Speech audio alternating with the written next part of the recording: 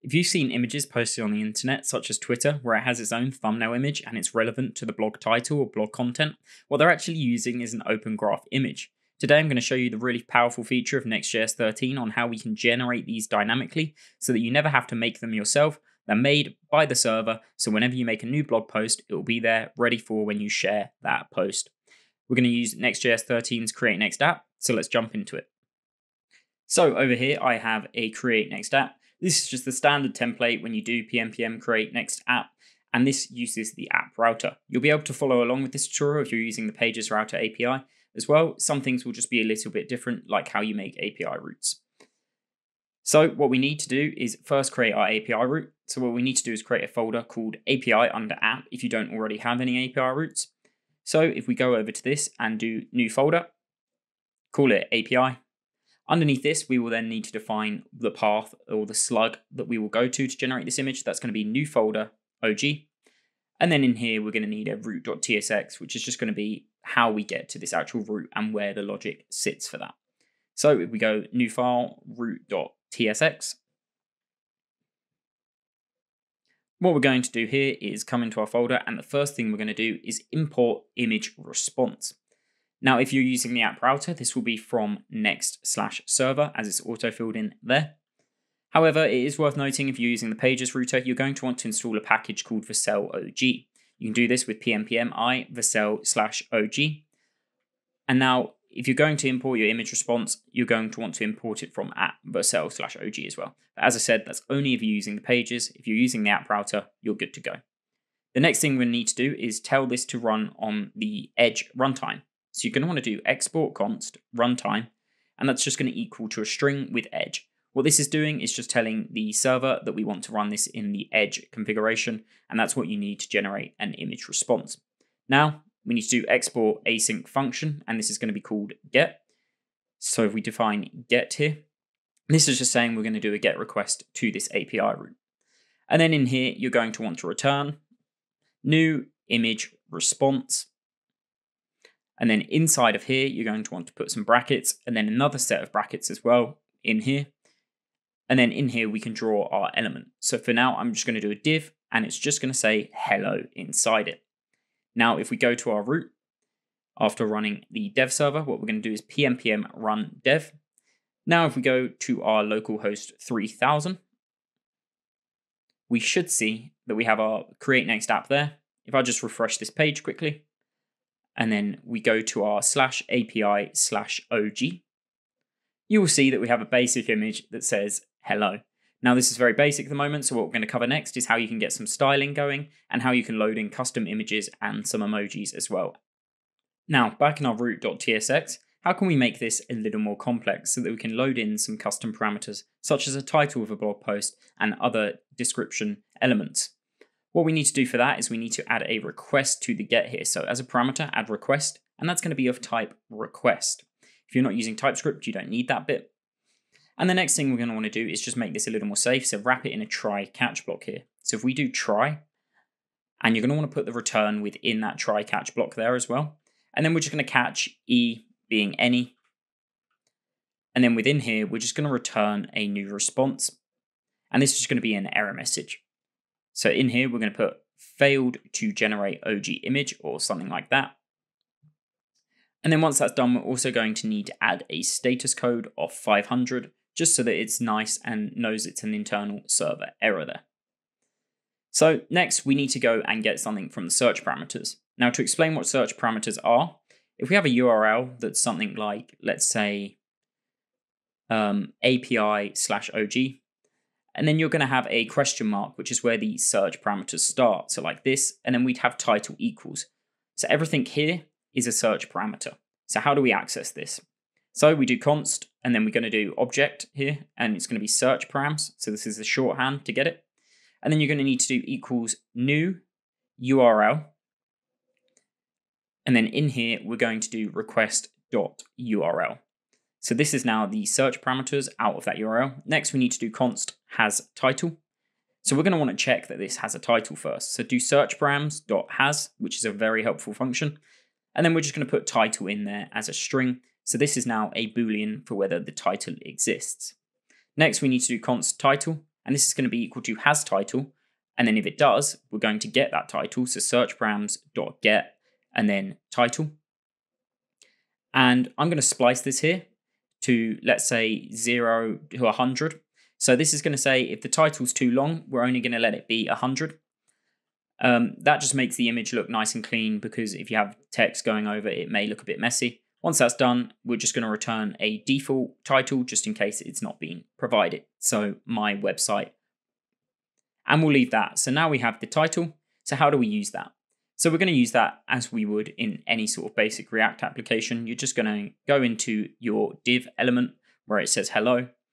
So if we go down there and we replace that, you will see that if we replace that just with the curly brackets and then put title in there, that is how we can use it. So if we save that and go over to our image, hit refresh, you'll see that my website has now been loaded in. If we add some search parameters, so if I add title and then just add something like my new blog post, you'll see that it says there, my blog on OG images as we typed in to the title on the search parameters. I didn't need those quotation marks. Now, how can we add a bit of styling to this to make it look a bit nicer? So the first thing to note, if you want to use inline styles, you could do that by just adding the standard style object as you would with React. I'm going to use Tailwind for this example, but just to show you, if you wanted to use that style, you just come in here, do style, as I said, and then you just do that double curly braces. But for Tailwind, what we're going to use is a custom thing. Now, if you've used Tailwind, you may be used to the class name to put our Tailwind in. For this, we're going to use TW. So the image response has a custom wrapper around Tailwind to make it work, because obviously this is generating image, but you want to put all your Tailwind in a TW prop. So if we go and make this a bit cleaner so we can work with it, so here I'm just going to format this so it's a bit nicer to work with. In the div, I'm going to come in here and add that TW. And then I'm just going to add some basic Tailwind to format this. So I'm going to want it to be a flex box. I'm going to want it to be flex column, so everything's aligned and then you're going to want a width full and a height full, so this takes up our entire image. And then I'm going to want to center everything with item center and justify center. The next thing I'm going to want to do is I'm going to move our title into a h1 tag. So if I do h1 here, and then move the title within that. And then I'm going to give the h1 some custom classes.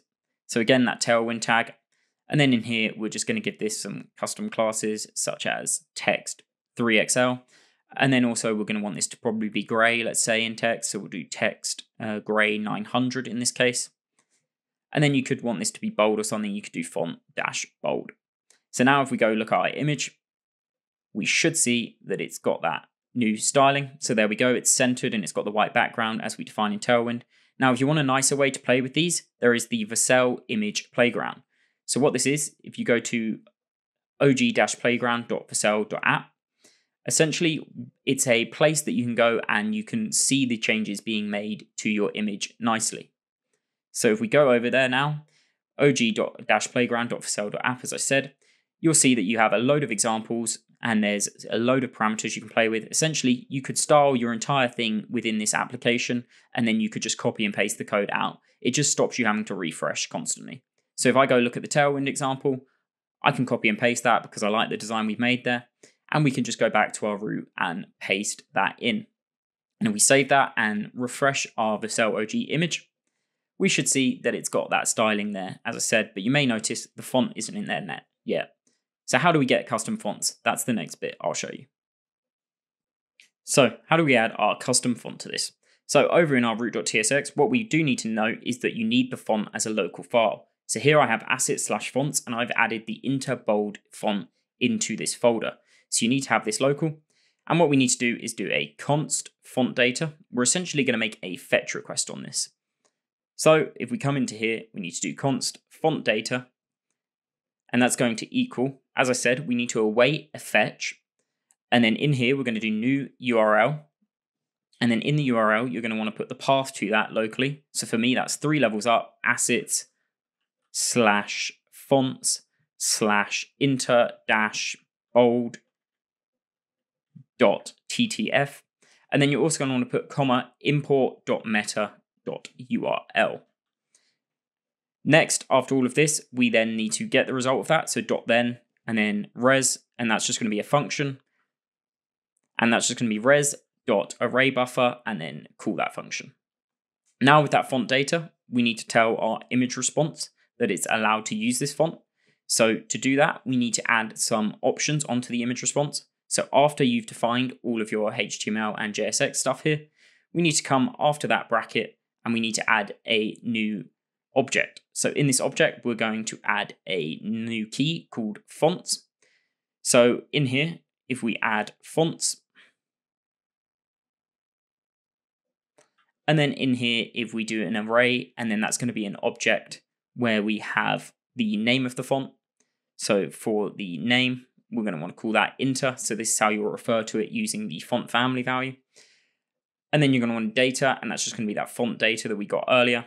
And then you're also going to want style, and that's going to be normal or italic. Now that we've got that, we can go ahead and use that in our JSX. So go up to where you want to use it, and you're actually going to need these style tags for this. So if we do, as you can see here, the style font family, all you're going to do is do style, and then again, you're going to want to put that object inside of it.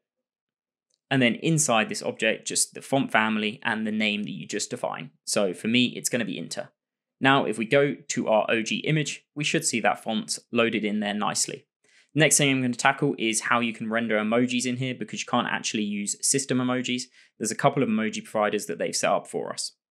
Again, back in our route.tsx, if we wanted to use an emoji like this hand waving emoji, we actually have to tell it what emoji provider we'd like because at the moment it's just going to be using Twemoji, which will actually look like this one here. But to get started, what you need to do, as I said, is just paste in that emoji. And obviously with Unicode, it will know what emoji you're referring to. But if we refresh here, you'll see that it's actually got that emoji and it is using the right provider, but this may not be the one you wanted. So to change that, you can go down into that config object that we defined earlier, and you can just type emoji. And then you can see the emoji providers we can use. So for me, I let's say we change this to OpenMoji, save that, and you'll see that the emoji will change to the uh, open emoji style. And there we go, it's changed. If we go back, you'll be able to see the various options. As I said, you'll be able to find them on the website for the one that suits your needs. But again, this is the list here. So Blobmoji, Fluent, Fluent Flat, Noto, OpenMoji, and Twemoji. I'm going to use Twemoji. Now, to add our own local images, Again, what we're going to need to know is you will need it to be a local. So again, in this assets folder over here, I've got my logo-64x64.png. So I'm going to want to use this logo in my OG image. To do that, it's very similar to font data. So we go ahead and copy and paste this here. Paste this down and let's say rename this to image data. And then you're just going to change that path to the path to your image. So for me, that's logo-64x64.png and then we can start using this image in some image tags. So if we go down where we want the image, use the normal image tags, not the next image ones. I'm going to want to give this a width of 64 and a height of 64, which is going to suit our needs. And then you're going to to put source equals, and that's going to be the image data that we just made. Now, it could throw an error here because of TypeScript and also ESLint. Um, it may moan that you don't have an alt tag, and Next.js may moan that you don't have a next image. There's a couple of ways you can change this. You can stop it for the line. For me, I like to go up to the top of the file and add a few custom things. So if we go up here and paste in these values here, so this is just some ESLint rules to disable those warnings, and I'm going to disable TypeScript within this file as well. So once that's done, we can save that. And then if we go to our OG image root, after those source tags haven't been rendered in, and we refresh that, you should see that my logo's there and I've also changed it so the title's rendered in there and you can now move this away any round you like just using your JSX and Tailwind styling. Next thing we're going to tackle is how you actually get this out into the metadata. Now for metadata, what you end up with is something like this. So you'd export const metadata and then that'll be a metadata type if you're using TypeScript. And in that object, you're going to want open graph with images, and that's going to be an array of the images. Now you'll see here that I'm using this statically. So this is on a page that doesn't take in any parameters. So you may want to know how we do this for a blog post. To show you that, I don't actually have a blog post set up here. So what I'm going to do is I'm going to show you how we can do this using my personal website that I have set up. I'll link that down in the description below and also the source code to that so you can see that as well. But if I head over there now, I'll show you how we can dynamically render this in using the generate metadata function so that it will have your blog post title and any other data that you want from that in there. Now, over here in my VS Code for my personal website, if we go into the app, blog, and then I have a blog page for each slug. So the slug will be sort of the title of the blog post. If you see as we scroll down, my blog is actually using Contentlayer here. If I scroll down, we'll see the generate metadata function. And that's going to take in params, and that's going to be the page params on blog post page props. So that's just going to be the slug that we're going to. So for example, Next.js example blog um, with the dashes. And then I have a function which is the details one, and that's get post from params. So that get post from params is going to go off, and then on my backend, it's going to load in the necessary details just using that slug for which post we're actually referring to. Now, if you see we have that const post equals those details.post, the bit that we're going to be relevant in is this OG URL. So here I define a new URL as the URL of the site slash that API slash OG root. And then we do OG URL search params dot set. So I'm going to set the heading to the post title. So when I set this up, I used heading um, to be pulled in as the post title. I'm going to set the type to blog post as I have this as a little sort of header above the title to show what sort of type of content it is. And then also the mode is dark because my OG image can also be in light mode if you wanted it to. Anyways, once we've got that set up, all you need to do within your generate metadata function is return the object of the metadata. So as you can see here, we have return and I have title, post.title and a load of other metadata. But again, we're concerned with this open graph. So down here in images, again, I have that object and I just do that og.url to string. So it's just going to load in that OG URL as a string with those search parameters in there. And again, you can give it some width and height, and you can do this for the Twitter image as well. As I said, we're concerned about this OG URL. This is how you do it. Use the URL, pull that in from, you could pull that in from an environment variable or site metadata. If we go over to Twitter and paste in a link for something on my blog, you'll see that we get this nice OG image pasted in and it has that title for us. And I haven't had to generate this at all on my own. So that's how you get started. If you have any more questions, do leave them in the comments below, and I'll leave some links to the documentation in the description below. Thank you very much.